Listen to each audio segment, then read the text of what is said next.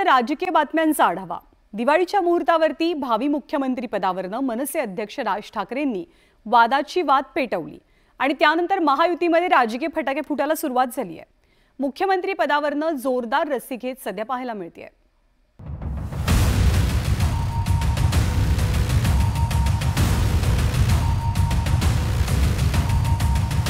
मी त्यांचा आभारी आहे. त्यांच्या शुभेच्छा मी या ठिकाणी आभाराने स्वीकारतो.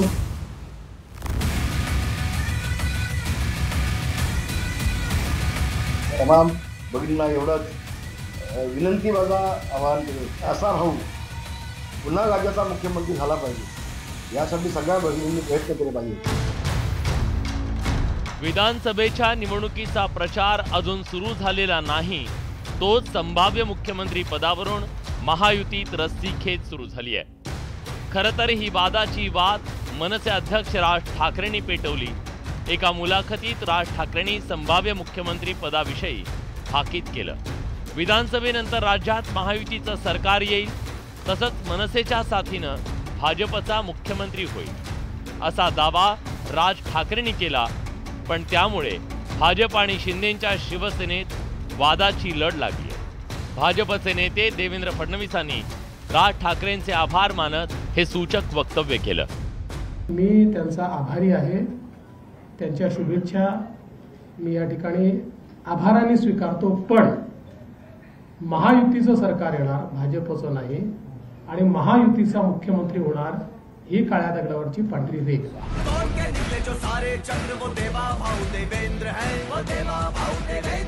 भाजपनं विधानसभा निवडणुकीत सर्वाधिक एकशे अठ्ठेचाळीस जागांवर उमेदवार उभे केले.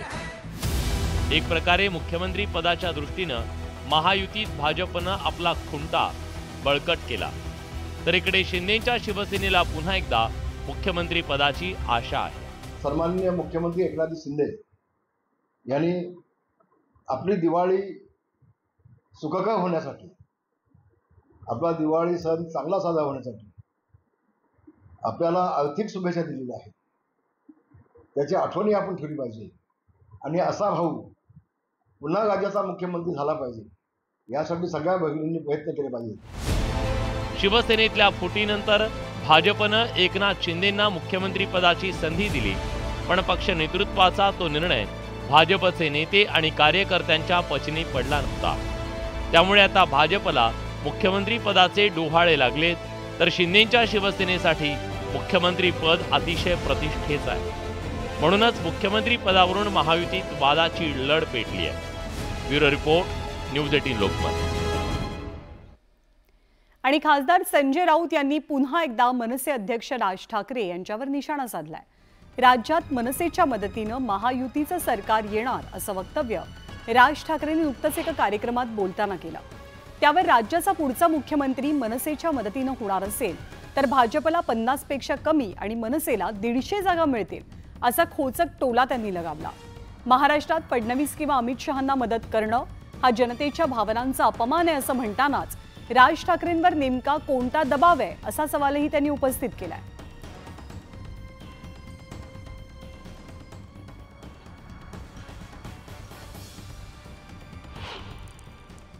भारतीय जनता पक्षाला महाराष्ट्रात पन्नास जागाही मिळत नाहीत. कारण जर मनसेच्या मदतीनं सरकार येणार असेल आणि मनसेच्या पाठिंब्याशिवाय सरकार बनणार नसेल तर दीडशे जागा यांना मिळतील आणि पन्नास जागा फडणवीसांना मिळतील. खरं म्हणजे मुख्यमंत्रीच त्यांचा व्हायला पाहिजे हो मग. महाराष्ट्राच्या स्वाभिमानाचं नाही अस्मितेचं नाही. आणि तरीही मराठी माणसाच्या हितासाठी स्थापन झालेल्या एका पक्षाचे प्रमुख सांगतायत की फडणवीसांना आम्ही मुख्यमंत्री करू. हा कोणता दबाव आहे मला माहीत नाही. हा दबाव ईडीचा आहे सीबीआयचा आहे की आणखीन कशाचा आहे? पण ठीक आहे राजकारणामध्ये प्रत्येक पक्षाला आपापल्या भूमिका घेण्याची मुभा आहे.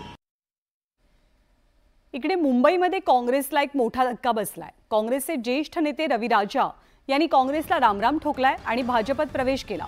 उपमुख्यमंत्री देवेंद्र फडणवीस आशिष शेलार यांच्या उपस्थितीत त्यांनी भाजपत प्रवेश केलाय. सायनमधनं उमेदवारी न मिळाल्यामुळे रविराजा नाराज होते. तर याच रविराजांनी आपला राजीनामा मल्लिकार्जुन खरगेंकडे पाठवला आणि भाजपत प्रवेश केला. राजा यांनी प्रवेश करताच त्यांना मुंबई भाजपचं उपाध्यक्षपद दिलं गेलंय. रविराजा यांचा सायन कोळीवाडा मतदारसंघात चांगला प्रभाव आहे. गेल्या काही महिन्यांपासून रविराजांनी विधानसभा निवडणुकीच्या दृष्टीनं इथे काम करायला आणि मोर्चे बांधणीला सुरुवात केलेली. मात्र पक्षानं गणेश यादव यांना उमेदवारी जाहीर केली आणि रविराजा यांना डच्चू दिला. पक्षानं संधी नाकारल्यामुळे नाराज रविराजा यांनी काँग्रेसचा राजीनामा देत भाजपत प्रवेश केला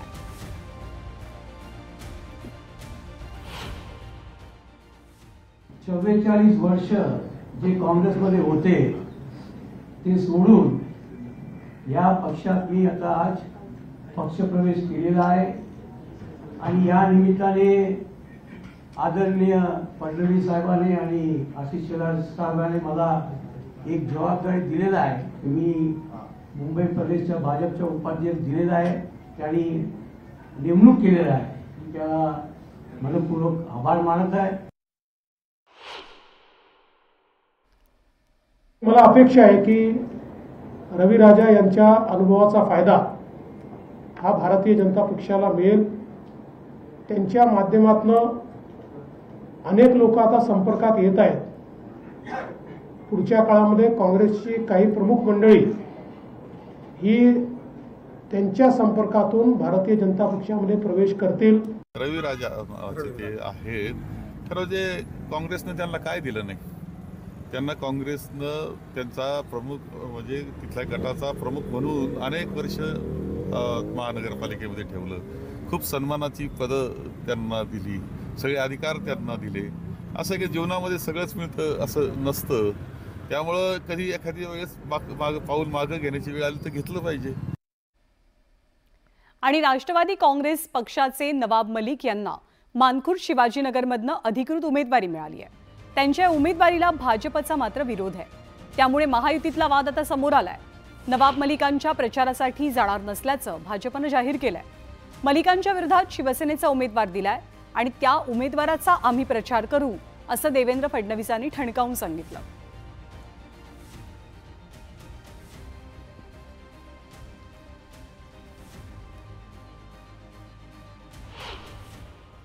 हम तो उनका प्रचार ही नहीं करने वाले तो कहाँ से सरकार में शामिल करेंगे? हमने हमारी अधिकृत भूमिका कल बता दी है कि हम लोग उनका प्रचार नहीं करेंगे। उनके खिलाफ शिवसेना का उम्मीदवार है। उस उम्मीदवार का प्रचार भारतीय जनता पार्टी और शिवसेना करेगी।